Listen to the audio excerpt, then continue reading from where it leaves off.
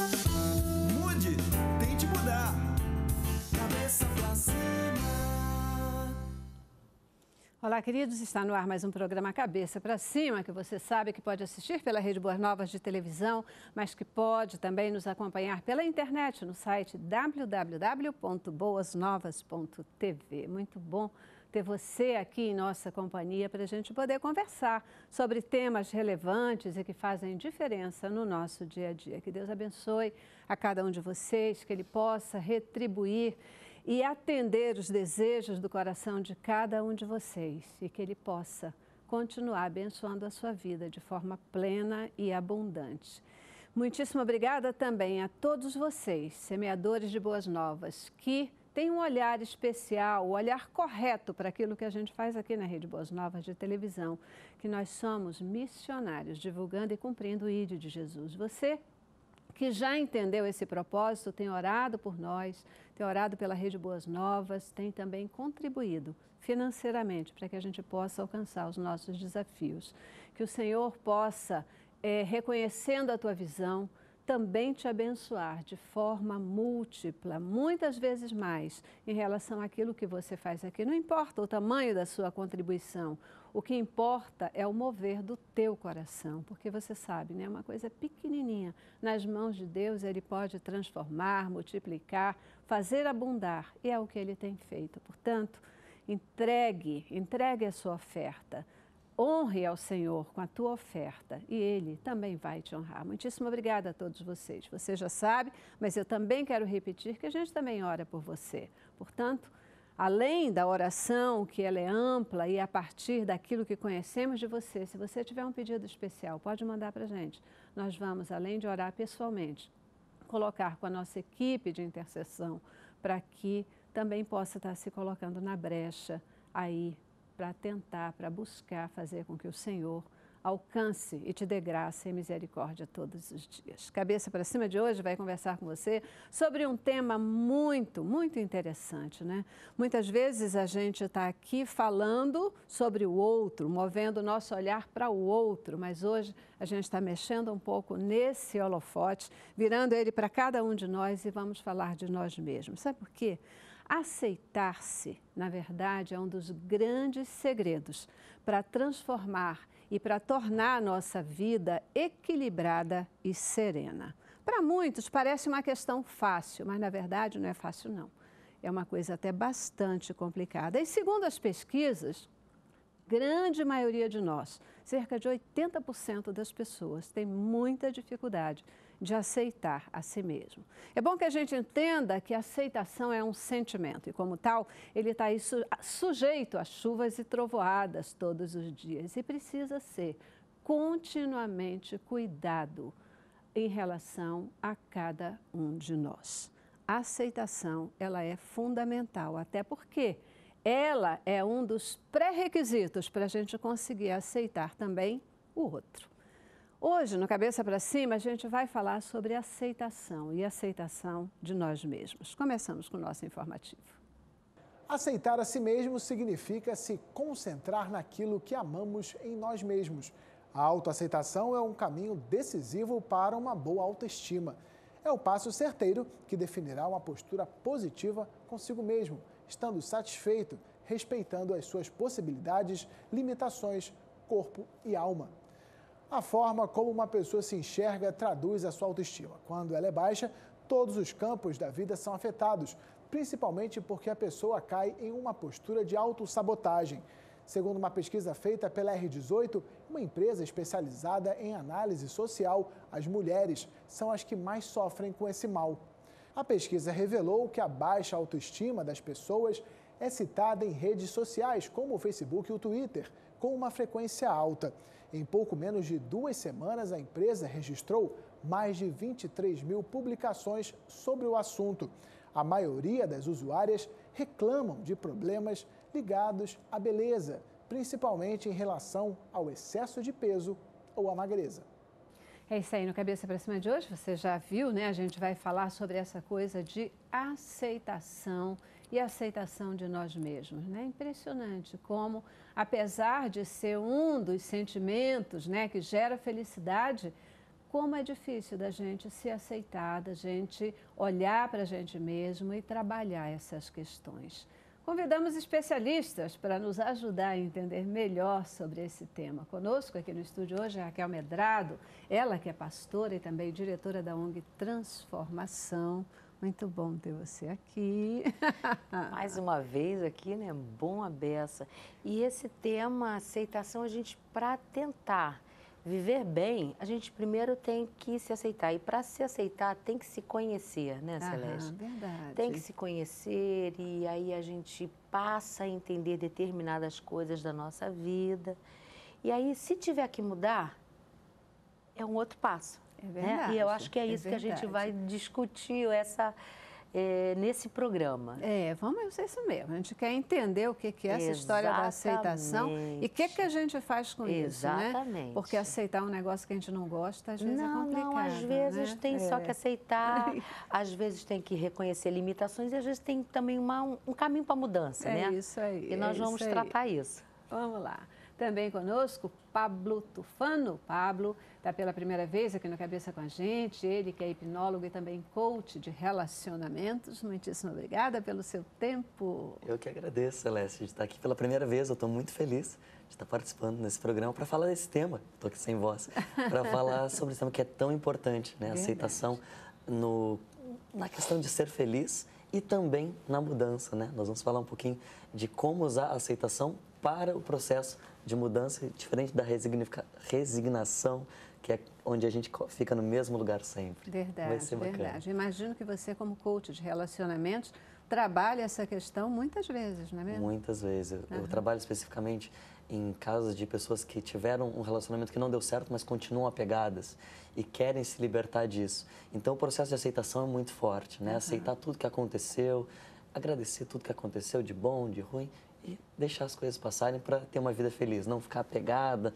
naquele passado, naquele sofrimento que é tão, tão pesado, tão, né? Que leva a nossa vida para baixo. E quanto mais a gente ficar apegado, de repente, mais profundo a gente vai, né? Mais profundo a Exatamente. gente vai. Mas vamos já já aprofundar essa história. Maravilha. Já, já. Antes, quero apresentar para vocês também a Fabiola Salustiano. Fabiola é psicóloga e terapeuta sexual, também vai ajudar a gente na reflexão de hoje. Obrigadíssima. Obrigada a você, a vocês. Eu quero agradecer muito pelo convite a presença da Raquel e do Paulo aqui com a gente. É, Eu acho que realmente é um tema muito pertinente e, como você mesmo colocou no começo, é, a gente está sempre agora projetando para o outro, né? Temos as mídias sociais, tudo que é o outro é você projetando. A gente esquece um pouco do que a gente real- realmente quer ser, do que é aceitação, né? Se é esse aceitar-se pelo olhar do outro ou não. O que você é se aceitar mesmo, você, o que você quer, o que você é, o que você construiu. Eu acho muito interessante mesmo, muito pertinente. É, e eu acho que essa é a grande questão, né? Porque é o tempo todo, quer dizer, a vida nos coloca assim, né? É, é, a gente só consegue olhar para o outro, a menos que a gente esteja diante de um espelho. Aí a gente não tem jeito, tem que se encarar, né? Mas é, a gente dá o tempo todo olhando para o outro, olhando para o outro, e esquece muitas vezes de olhar para si mesmo, de se conhecer, de se perceber.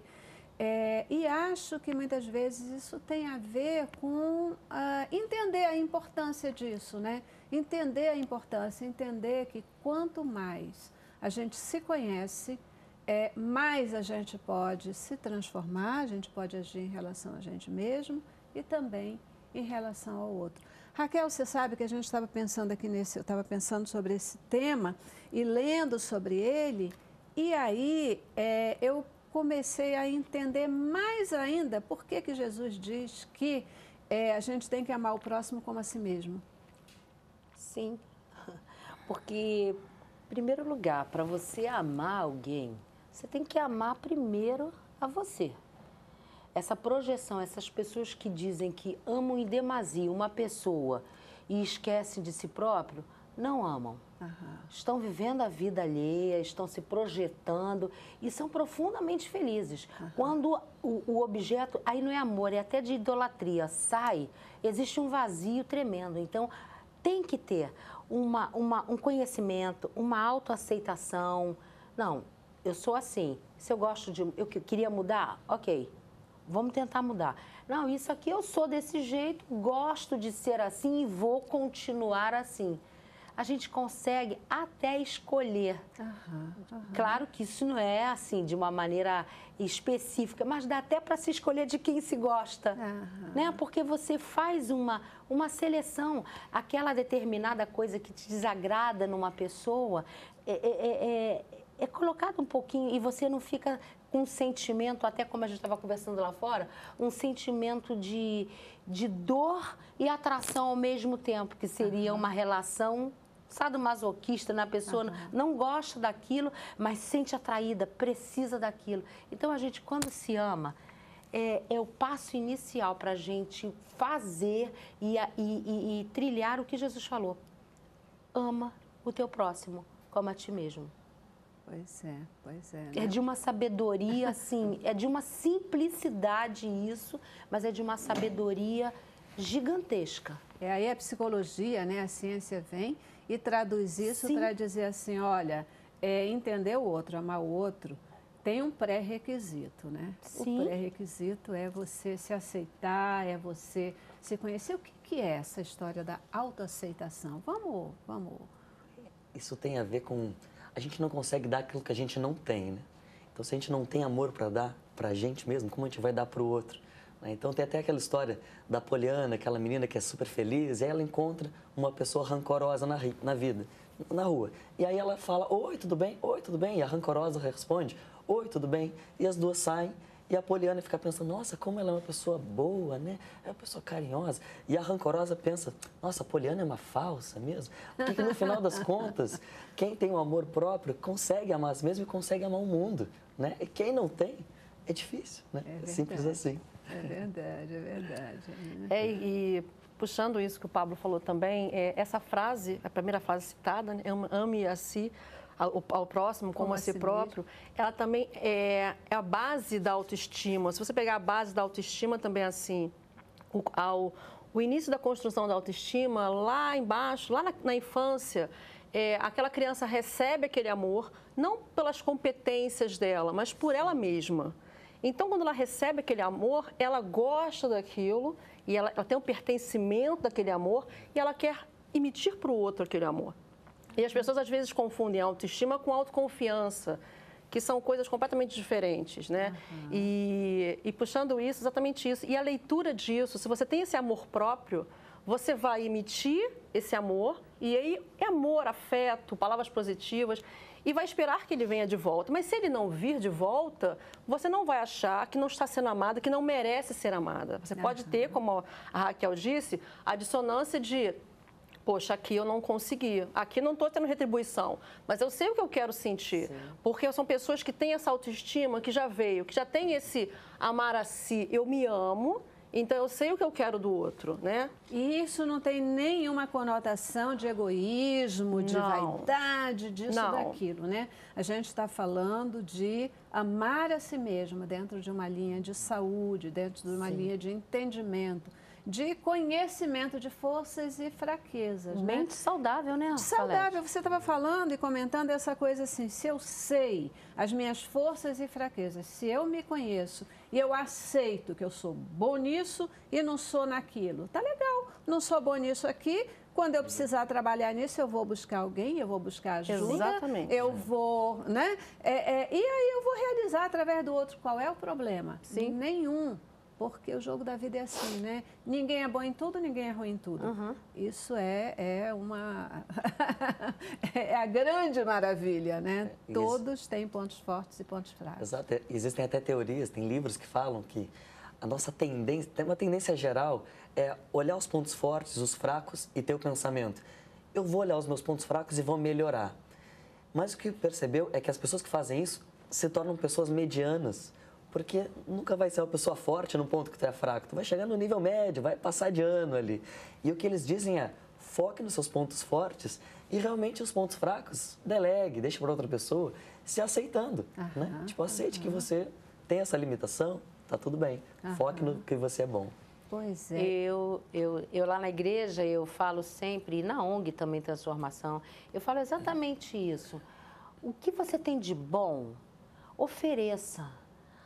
Bota à vista. O que é ruim, entrega na mão do Senhor, que Ele te ajuda a transformar, a, a, a, fazer com que você aceite. Quer dizer, não ao contrário, você fica trabalhando, malhando, ferro frio, o que você é ruim, o que você não consegue alcançar um resultado. E não, você bota em tudo. É na família, no teu trabalho, é na igreja, no teu relacionamento. Você bota o que você tem de melhor. Você bota o que você tem de melhor, o resto é só você entender e aceitar que naquele particular tu deixa a desejar. Aí pronto. E trabalha isso, né? Em É. saber dizer assim, bom, se nisso aqui eu não sou bom, daqui a Uhum. pouco está acontecendo uma fragilidade, a gente vai dizer, opa, esse é o meu, esse é um problema que eu tenho. Então, não preciso me desesperar, vamos né, começar a andar nessa direção, trabalhar isso, ou trabalhar no sentido de eh, simplesmente lidar ou de melhorar um pouco, né? Mas não como objetivo principal. É impressionante como o ser humano tem a assim a capacidade de se chicotear o tempo todo, né? A gente, não é? a gente vibra pouco com as nossas é, com, a- com as nossas fortalezas. A gente normalmente não trabalha isso, não se alegra com isso, mas a gente se chicoteia o tempo todo e traz à mente os nossos pontos fracos, né? Sim, mas Celeste, por exemplo, citando isso que você acabou de falar, é a competência realmente que nós temos de o tempo todo nos punirmos pelo que não fizemos e depreciar até o que nós conseguimos. Você pensa num pai e numa mãe, às vezes sem uma informação, de um filho que chega da escola com uma nota ruim, né? Então, assim, ele tem um boletim com várias notas, ele chega com a nota ruim. E aí ele é medido só por, por aquela nota. Então você é ensinado muitas vezes desde pequeno que quando você tem a nota boa, você recebe o afeto. Quando você não tem, o seu pai fica triste com você, ele para de falar, ele tira coisas de você. Então, assim, ele não mensurou, às vezes, esse pai, essa mãe, às vezes, muitas vezes, sem educação, sem, sem educação a respeito disso. Sim. Né? Não é falta de amor, é falta de informação mesmo, de repertório para lidar com aquilo. O pai não mensurou que, às vezes, não é uma aptidão que você tem É isso aí. que você não é mais é menos exato, é mais de humanas. Exato. E aí você essa, essa ansiedade e isso vai levado pelo, é levado pelo resto da vida. Então nisso eu não sou bom. Então isso me diz, eu tenho reações a isso que eu vou me punindo como eu fui punido lá atrás muitas vezes. Aham. E o pior de tudo é quando é, existe esse ponto, nisso eu não sou bom. E aí as pessoas, algumas pessoas vão tirando o nisso eu não sou bom. Tira o nisso e fica, eu não sou bom. Eu não sou Exatamente. bom. Eu não sou bom. E aí não é nisso, é em nada, eu sou bom. E não existe. Porque não o existe foco é, ninguém. é eu não sou bom. Não Sim, é? sim, e não é. existe ninguém que não seja bom em nada, né? Deus não fez ninguém assim. Ele sempre nos deu pontos e é, é, estímulos, dons especiais. Todos nós temos dons Com absolutamente certeza. especiais, né? Gente, o tempo aqui passa rápido, já preciso para o intervalo. Vou primeiro, vou para o nosso primeiro intervalo e volto. E eu queria trabalhar um pouquinho com vocês essa questão de por quê? Que, na verdade, as pessoas sempre têm uma tendência a achar que a grama do vizinho é mais verde do que a nossa. Né? E uma coisa que você deu uma passadinha por ela, mas a gente fala assim: ah, então tá bom, então é, eu vou ser passivo em relação às coisas em que eu não sou bom. É, aceitação tem a ver o quê com passividade? É a mesma coisa? Ou como é que é essa história? Logo depois do intervalo, vamos lá. Cabeça pra cima. Cabeça pra cima. E aí, você já está começando a olhar para você mesmo? Você é uma pessoa que se aceita como você é? Você se conhece, tem trabalhado os seus pontos fracos? Entenda que esse é um dos primeiros passos para que você tenha uma vida plena e abundante, para que você seja feliz. Se você não conseguir se aceitar, talvez você não consiga aceitar o outro, você não consiga viver de uma forma bacana, de uma forma equilibrada e de uma forma serena, né? Ainda vai ficar sempre achando que nada do que você tem é bom. Por que essa nossa tendência de achar sempre que a grama do vizinho é mais verde? Estamos aqui A pergunta veio para mim, desculpa. Fiquei esperando. Pablo, qual, o que você acha disso? Tá. Pablo, o que você acha disso? É, bem. Eu acho que o primeiro ponto para nós trabalharmos aceitação é a capacidade de nós vermos. Quando a gente não consegue ver a realidade do jeito que ela é, a gente não consegue mudar. É a primeira coisa. Sabe aquele defeito que a gente coloca embaixo do tapete? Aí a gente fica olhando assim, e aí como olha que ele é feio, a gente não tem nem coragem de olhar. Esse é o processo natural. E aí a gente tem que olhar para algum lugar. E é muito mais fácil olhar para os outros do que olhar para os nossos próprios problemas, né? Então, esse é o primeiro passo para a gente ter realmente uma mudança na vida do que a gente quer. E, e que é muito mais interessante, né? A gente se preocupar e fazer a nossa vida acontecer e das pessoas que são importantes do que ficar olhando a vida dos outros e não se preocupando com o que realmente importa. Aham, verdade, né? A gente perde tanto tempo Verdade. com coisas dessa ordem. E esse, esse, esse tema que você puxou a respeito da, da grama do vizinho é sempre mais verde, né? Tem uma frase que é muito interessante que depois de você trabalhar isso, a aceitação, no caso do consultório de uma pessoa, eu uso essa frase assim que a grama do vizinho é mais verde porque aqui eu tenho mais festa. Então, a grama aqui Ah, se boa. esvai. Então, é, Verdade, e realmente é, e é mais verde de lá porque você não está vendo. Da mesma maneira que nós temos essa so- sociedade também dessas, dessas faces maravilhosas, dessas fotos in- incríveis, né? Essa felicidade plena. O, o vizinho também não demonstra para você as dificuldades que ele tem, mesmo porque você não faz parte do núcleo dele. Então, é, como o Pablo falou, aquele probleminha escondido, às vezes é mais fácil você olhar para o outro do que lidar com aquilo que está ali debaixo do tapete e ele está te incomodando e às vezes era uma coisa que era só aceitação, né? Então, ok, obrigada, realmente não é uma super aptidão, mas eu tenho tantas outras. E, e aí é mais fácil olhar para a grama do vizinho, mas é porque lá né, não tem tanta festa quanto aqui. E aceitação. olha, é- é- é, eu acho que essa colocação tem aí um conceito fantástico embutido, né? Quando você começa a achar e, e- e- e- e sentir assim, né, a vontade de ter a grama do vizinho, pensa no que está acontecendo com a tua. De repente, olha, você tem muito mais festa, então a vida é melhor, você tem uma dinâmica, você tem mais amigos e talvez o outro está mais verde porque é mais solitário, porque ninguém usa. O que, que adianta ter uma grama tão bonita se você não pode usufruir dela, né? É melhor a gente... É, é, e, e, Celeste, também a gente é condicionado desde criança, desde a mais tenra infância, a gente é condicionado a, a, a, a a comparações. Você vê que a mãe, mesmo sem querer, com todo o amor do mundo, ela fica: o seu irmão fez isso, você não fez. O fulano fez, você não fez. Mamãe tá chateada com você, mamãe tá triste com você, porque você é um mau menino, porque você não fez como o Joãozinho fez. Então, a gente já cresce com aquela necessidade de se comparar. Então eu olho para ela, hum, como é que tá a roupa dela? Hum, eu tô menos, eu tô mais. E a gente esquece que esse olhar e esse parâmetro é falho. E assim, eu sempre fui muito bem resolvida, graças a Deus. Eu lembro que minha mãe, minha mãe era uma, uma filha de alemão muito dura. E ela um dia, ah, porque Raquel, porque não sei o quê, porque você não faz isso, porque você é assim, porque você é muito agitada. Aí eu parei, deixei parar. Depois eu falei para ela assim, mãe, Deus faz porcaria? que isso, menina? Falta de reverência, falta de respeito? Mãe, Deus faz coisa errada? Não, claro que não. Tudo que ele faz é bom, perfeito e agradável. Eu falei, eu sou perfeita. Foi ele que me fez. Assim. E eu me Legal, senti o legal, máximo legal, falando aquilo de verdade. Eu, eu, eu falei, ah, eu sou boa. Eu- a senhora pode não gostar de tudo que a senhora vê, mas eu sou boa, mãe. E assim, e aí você é aquilo que a gente fala que você não agrada a todo mundo todo o tempo. E você não desagrada a todo mundo em todo o tempo. Então, tem que ter um equilíbrio. Vou me dar o direito de provocar a Raquel, que a gente já tem mais intimidade, essa questão toda, né? Então, pegando esse exemplo que ela deu aqui, né? De, ah, eu sou assim, nasci assim, Deus não faz porcaria, sou desse jeito e aí tá tudo certo, né?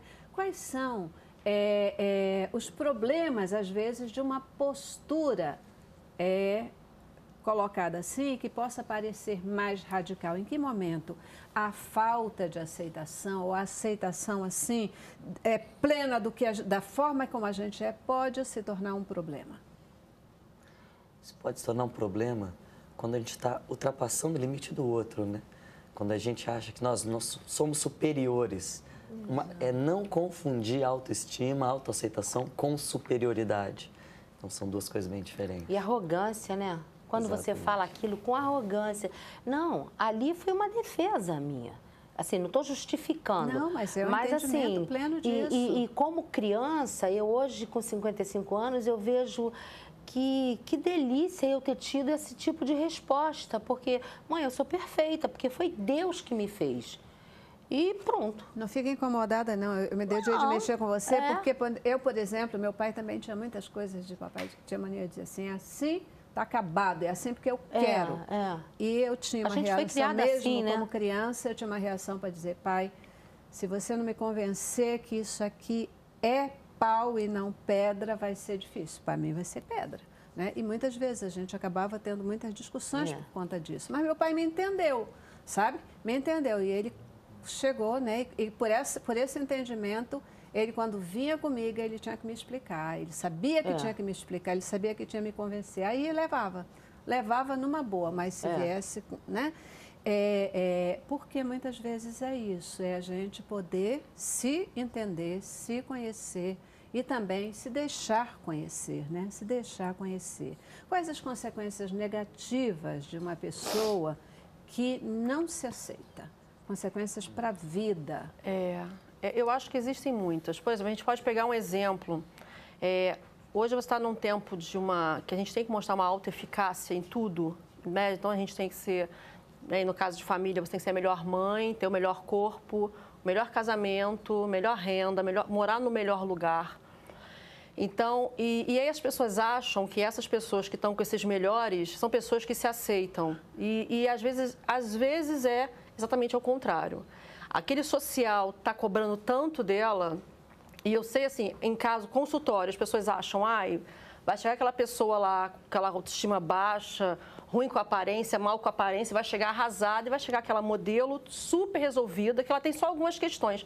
Não, isso não é uma base fixa de. Porque é justamente o que a gente estava falando aqui, a personalidade, é você ter essa autoestima. Então você tem pessoas que cumprem todos esses papéis so- sociais e que não se aceitam de maneira alguma, que sempre acham que tem que fazer mais coisas, conseguir mais coisas. Então, é isso. Por que, que isso não é aceitação? Porque você está fazendo pelo outro. É pelo padrão vigente. E não, ah, então tá. Então, até eu estava conversando com eles lá fora, porque, ah, então, todo mundo, então, que é, coopera, faz as coisas conforme o padrão vigente, todo mundo então não está aceito. Não, não é. Às vezes você está fora do padrão vigente, mas você está ali lutando desesperadamente só para alcançar aquele padrão vigente. Ou seja, você não está aceitando, às vezes, suas limitações que não vão deixar ou não vão cooperar para você alcançar aquele padrão vigente que não é nem para você é para o outro. Não é nem coisas que realmente fariam bem para você ou surtiriam um efeito extraordinário na sua vida. É porque é aquele olhar do outro. Porque quando a pessoa não se aceita, é mais fácil você entrar num padrão mediativo, que aí você se aloca em algum lugar. Você com aceitação, você sabe o seu lugar, que a gente estava conversando da autoestima. Se eu tenho autoestima, se eu sei que eu sou amada pelo que eu sou, então eu sei que eu tenho um lugar. Pode não ser em, qual- em todos os ambientes, em- com todas as pessoas, mas eu tenho o meu lugar. E aí você tem a sua aceitação. Quando você não tem, você geralmente vive em busca desse de algum de padrões normativos ou de aceitação do outro, esse amor que a Raquel citou, que esse amor que eu amo você extremamente, e você não precisa nem me amar, mas eu, vou- eu preciso disso, eu preciso desse, dessa, né? essas coisas que às- às vezes ficam patológicas. E isso gera uma insatisfação, uma ansiedade, uma neura que. Oh, Porque assim, né, é, é- é uma maneira, uma outra maneira, né, de- dessa colocação e, e- e é muito é, falado sobre isso. Na verdade, quando você se conhece e se aceita, você pode tomar as rédeas da sua vida, né? Você diz, ó, tá bom, esse é o padrão que todo mundo está falando, mas eu não me enquadro nele e está tudo bem. porque isso aqui não é, não, não me atende, mas isso aqui me atende. Quando você se aceita, você toma as rédeas da sua vida. Quando isso não acontece e você fica buscando esse padrão da mídia, do A, do B, do C, do outro, você vira uma marionete. Sim. né? Você vira uma marionete, não é isso? Isso é muito interessante, porque quando a gente pensa em aceitação, a gente pensa que aceitar é ficar no mesmo lugar. Eu sou assim, eu vou ficar assim. Mas não é. A gente, para entender isso, tem que entender qual é o oposto da aceitação, que é a resistência. O que que é resistência? Ah, eu não tenho dinheiro, mas que droga, por que eu não tenho dinheiro? Ou então eu sou muito magro, ou eu estou acima do peso, e aí a pessoa fica resistindo. Qual o problema disso? Ela pensa que fazendo isso, ela vai estar caminhando para a mudança. Mas é o oposto, porque ela está colocando uma camada acima de sofrimento. Ela está gastando a energia dela, sofrendo, ah, eu não sou assim, eu queria ser assim, e aí não sai do lugar. Ao passo que quando você se aceita, você tira tudo isso e foca onde você quer. Não, tudo bem, eu sou assim, tudo bem, mas eu quero ser diferente. Eu tenho a liberdade agora para ser diferente ou para ser igual, mas eu tenho a liberdade. Diferente da resistência que eu fico apenas sofrendo e fico escravo de onde eu estou. É onde a gente fala aquela questão, né? Qual é a relação entre autoaceitação, aceitação de si mesmo e passividade, Exatamente. né? Uma coisa não tem nada a ver com a outra, né? É, com certeza. Você se aceitar, você entender, tem nada a ver com passividade. Ah, tá bom, e agora, né? É, eu vou me conhecer e isso pode ser, e é efetivamente o grande gancho para o próximo passo, para a mudança, né? Para a mudança, para a gente, ou dizer, tá bom, é assim, eu vou administrar nas diferentes situações, ou eu não gosto muito disso, então eu posso mudar. Até onde? Qual é o, onde eu quero chegar? E buscar a mudança. Porque se a gente não se conhece e não se aceita, provavelmente a gente vai estagnar. né? A gente Exatamente. vai estagnar. Tem tempinho para dar um exemplo Sim, prático? sim. É, a minha mãe sempre lidou muito bem com dinheiro. Uma, uma pessoa ignorante, mal sabia que o O era redondo, mas assim, aquela dom natural. pra- Meu pai não. Mas assembleianos antigos, tradicionais, quem é o chefe da casa? Quem é que tem que decidir tudo com relação à grana? O homem, porque você é o cabeça. O meu pai aceitou de boa que a minha mãe era muito melhor do que ele nesse aspecto, mas não aceitou com ela manda em mim, ela me pisa. Não, aceitou de, com uma tranquilidade, tipo, não, a sua mãe é boa nisso. O pouquinho que se tem, ela rende. E a gente cresceu sempre vendo a minha mãe administrar a finança, que a, ela era danadinha mesmo, era né? craque. Craque. E o meu pai criando isso assim. O que, que acontece?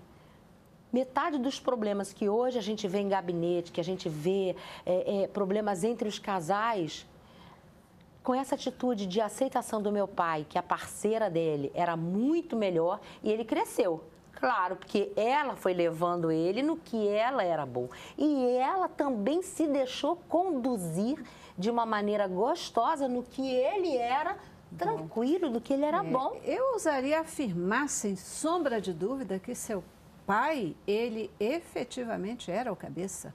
Era o cabeça, porque ser cabeça é saber olhar o ambiente, saber olhar a família, usar as potencialidades, ouvir o outro, descobrir, né? Os prós e contras e lidar É, com essas questões, tirando proveito. Muitas vezes a gente tem muito problema, por exemplo, em relações de trabalho, né? Chefes que não conseguem aceitar suas limitações Isso. e não admitem a fortaleza e os pontos fortes dos outros. Os né? pastores também, É, né? é, é, pastores, líderes, de um modo É. geral, né? E aí você começa, em vez de usar esse potencial, você começa a querer sufocar. E aí ninguém cresce. É Mas verdade. quando a gente consegue perceber, aceitar e usar, botar fogo e tal, né? Nessa questão toda, a gente consegue verdadeiros resultados significativos para nós mesmos, para o ambiente que a gente está, para a família, para todos, né? De novo, preciso para o intervalo, já estourei meu tempo, preciso ir lá. E aí, é, eu queria trabalhar com vocês no próximo bloco um pouquinho essa relação mudança e autoaceitação. Tá legal? Mas vamos para o intervalo. Vamos lá. Cabeça pra cima. Cabeça pra cima. Pois é, né? Você está vendo a gente conversando aqui sobre essa questão da, da autoaceitação, aceitar-se a si mesmo. Mas, gente, olha, é impressionante. As pesquisas dizem que 80% das pessoas, elas não se aceitam. Não se aceitam, né?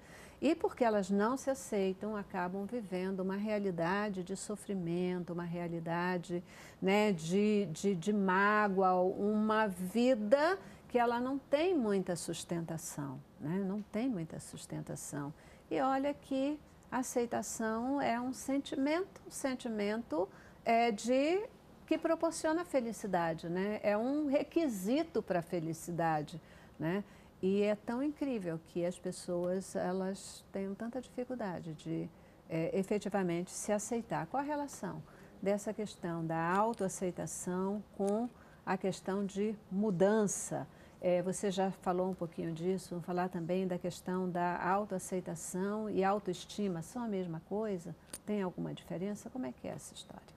É, a respeito da mudança, é, eu falo que as pessoas chegam uma vez no consultório e olha, eu quero mudar isso em mim. Eu falo, ah, então se você quer mudar, então a gente tem que fazer um transplante de cérebro que não existe ainda. ah, mas então você é sempre ansioso? Você vai ser sempre ansioso. Você vai saber como lidar com aquela ansiedade no momento X, que é onde você tem o prejuízo social. É, e o que foi dito no outro bloco também é muito importante, que é ou você supera aquela questão ou você suporta aquela questão. Né? Então, acho que esse é o princípio. Quando a pessoa, no ambiente terapêutico, ela se dá conta disso, ou seja, se aceita, então eu tenho essas questões, é como o Pablo disse, a, a partir do momento que eu tenho essas questões, não é resignar. Como você citou, ah, então, é, então sou isso, não consigo fazer aquilo. Não. Ou você vai suportar aquilo, então isso aqui são coisas que eu tenho que lidar, aprender a lidar de uma forma melhor, ou não, isso aqui eu vou superá-las. Eu vou, isso aqui que eu acho que eu não consigo seguir em frente, isso que eu acho que é impeditivo para mim, a partir do momento que você aceita, você se apossa daquilo, é seu, que isso é um grande problema, né? Muitas pessoas se vitimizam demais, então é sempre o outro que está fazendo alguma coisa com ela, e aí você pega e assim, os últimos cinco relacionamentos, aí o outro fez comigo, eu, nossa, mas são cinco relacionamentos com a mesma história, hein? Então, como assim? Não tem alguma coisa com você que dá para o outro essa mensagem e aí ele faz isso com você e você novamente está se vitimizando?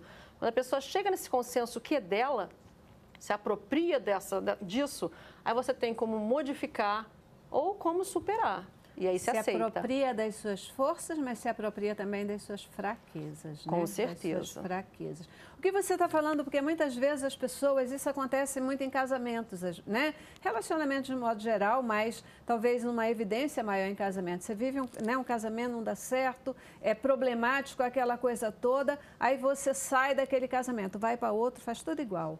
Né? Mesmo jeito, com as mesmas questões. Probabilidade de dar certo, Quase nenhuma. Sim. Vai dar problema de novo. E se você não começar a olhar para si mesmo, a buscar como é que é, é, é se apoderar, se apoderar dessas... ou superar. Exatamente. Vai superar ou suportar. Supo... Superar ou suportar. Se né? implicar no, é. no, na, naquele relacionamento. Né? Verdade. Né? Então você vai continuar tendo problema. O problema só vai parar na hora que você fizer alguma coisa a respeito de você mesmo nessa história, não é isso, Raquel? É verdade. E a pessoa que vive sem ter essa consciência, ela torna a vida do outro, a vida de quem está perto, ai, uma chatice. Porque tudo, ela, ela elege um. Primeiro que ela elege um padrão.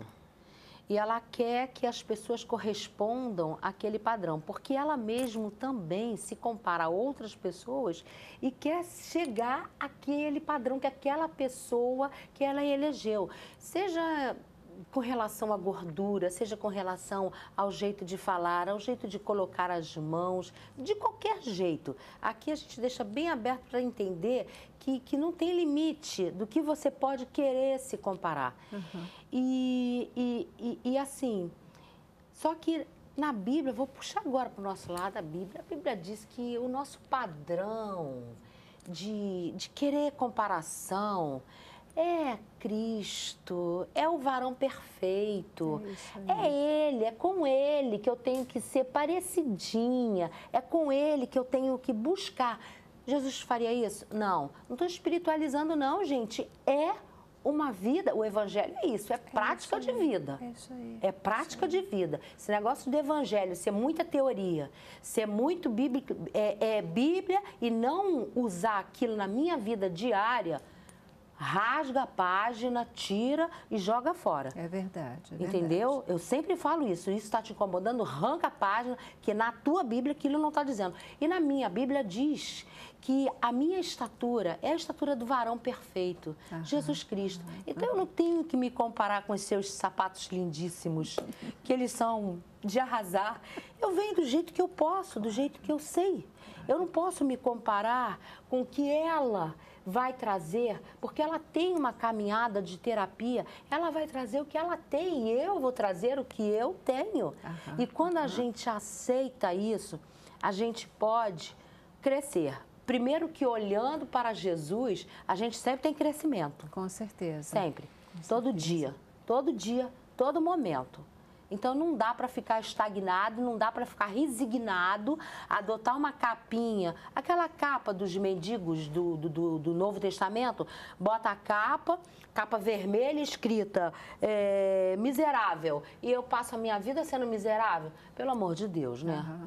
Bora, vamos embora se amar, vamos embora gostar, pensar em coisas bonitas, positivas. É isso.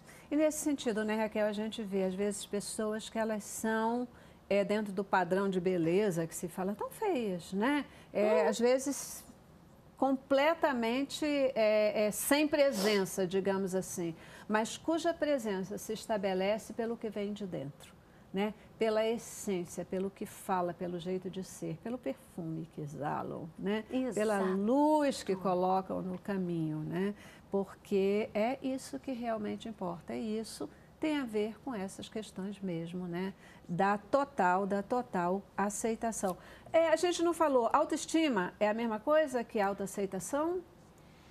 É, eu acho que assim, numa linha de essa autoaceitação, eu entendo que é, é um, um pouco similar uma coisa com a outra. Assim, não sei se vocês discordam.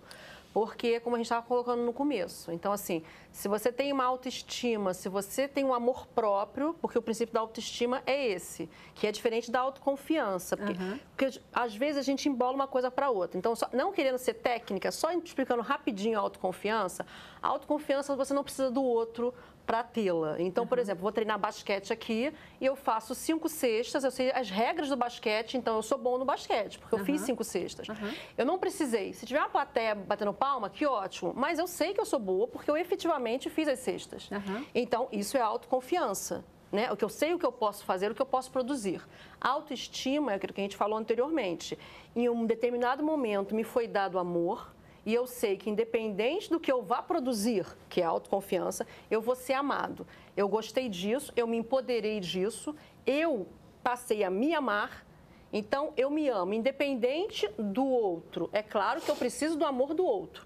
Mas se o outro emitir coisas para mim que não são amor, que não são afeto, que são negativas, eu não vou comprar aquilo como sendo meu. Eu não é sou ruim só porque eu faço só cinco cestas, né? Eu não sou o que o outro É, fala. Exatamente. Entendeu? Então, perfeito. assim, se o outro falar com você, você é isso, você vai ter um, um- um senso crítico. Então, poxa, eu sei o que eu sou, porque eu tenho amor próprio. Então, acho que assim, é, essa autoaceitação, ela geralmente quando não acontece a autoaceitação, é um problema básico de autoestima. Essa pessoa foi reconhecida muitas vezes por que ela produziu, não por- pelo que ela é, que ela era sempre. E a, auto, a autoafirmação, né, a autoestima, ela tem a ver com o ser. Nós estamos muito sem voz. Então, eu sou, eu tenho essa autoestima, eu sou assim. A aceitação é muito mais em relação a como você lida com as coisas. Então, eu estou me autoaceitando como a forma que eu, que eu tiro uma boa nota. Não tem muito a ver com, com a nossa autoestima, até tem, mas eu estou aceitando aquela situação, como eu estou aceitando que eu estou aqui agora, que eu estou aceitando como eu estou sem voz. Então, eu estou aceitando que eu estou sem voz. Não, não quer dizer que isso é autoestima, são coisas diferentes. Você está aceitando que está sem voz, está se esforçando para falar o melhor possível, né? Colocar essa voz, porque você está entendendo que está com uma limitação neste momento. Né? Sim. E que Exato. depois ela muda. E isso, isso não te diminui e nem né, muda a situação. Só é uma barreira nesse momento que precisa ser, lidar com ela de alguma forma, né? Querer mudar uma característica que a gente tem e que a gente eh, percebe que ela não é muito forte, isso significa falta de aceitação de si mesmo, isso é ruim, isso pode trazer problemas para a vida de uma pessoa? Isso é como eu estava falando, né? O primeiro passo, se você quer realmente mudar, é aceitar como você é. É meio contraditório, mas é assim. Então, se eu quero realmente mudar, eu sou uma pessoa pobre e eu quero ser uma pessoa rica, eu tenho que aceitar que eu estou nessa condição e gastar, investir a minha energia para fazer aquilo acontecer. Se eu não aceito, eu sofro.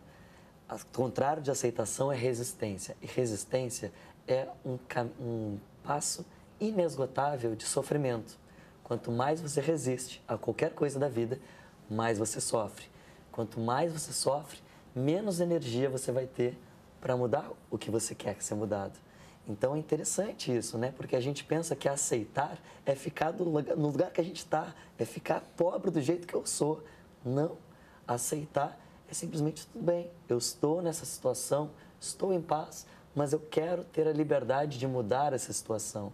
Tudo bem. Então agora eu vou fazer o que tiver que ser feito para realmente ter a abundância financeira que eu preciso. Esse é um exemplo. Verdade. Muitas vezes essa aceitação ela traz paz, né?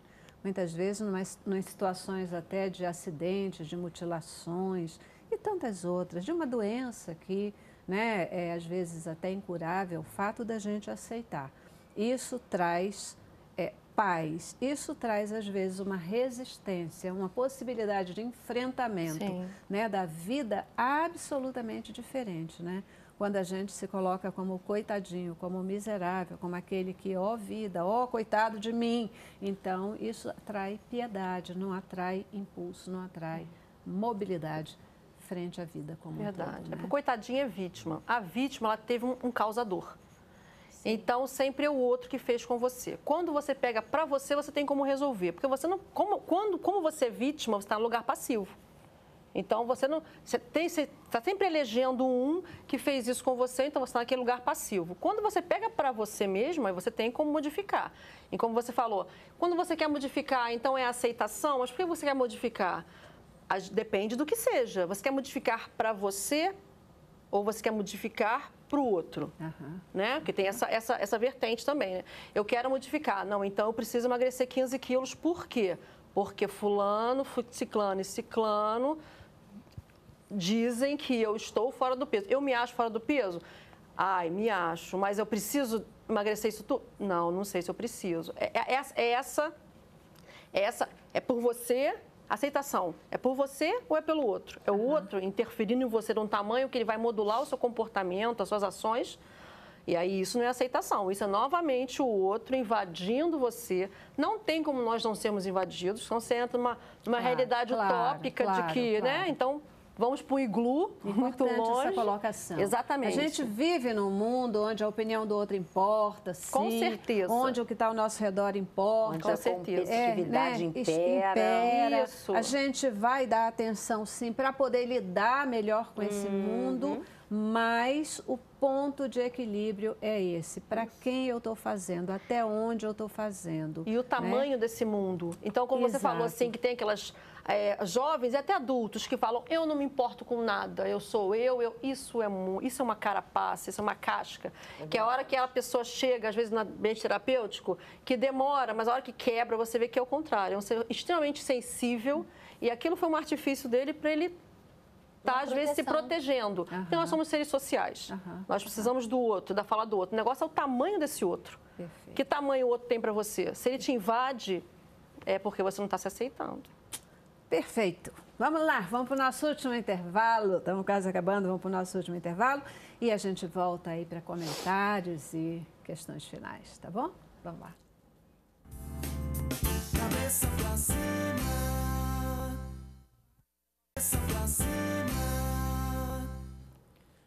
Pois é, gente, o tema bom, a gente falou tanto aqui que o tempo acabou todo, explodimos todo o tempo. Eu só tenho tempo de dizer muitíssimo obrigada pela presença, participação de vocês. Obrigadíssima.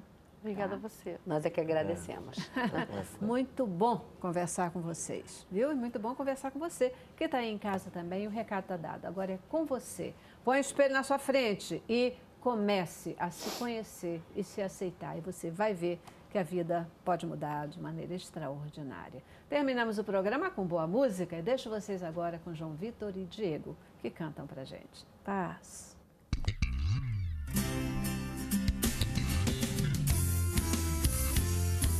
Tá, tá, tá, tá,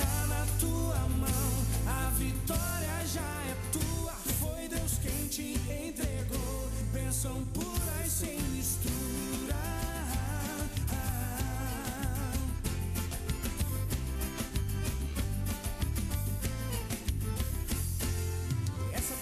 Vida de derrota tá por fora. Esse medo de não conseguir te apavora. Perdeu o desejo de alcançar tua vitória. E você chora.